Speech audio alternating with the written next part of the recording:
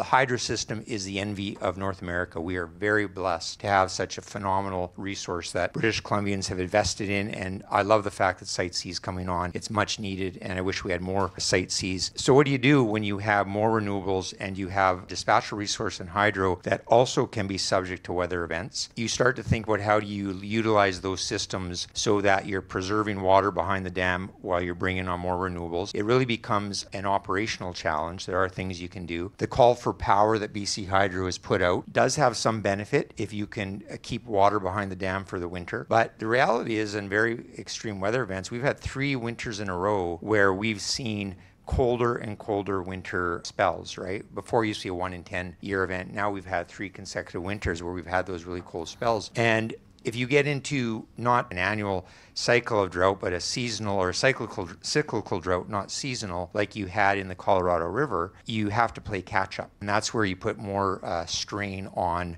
uh, the capacity of the electric system.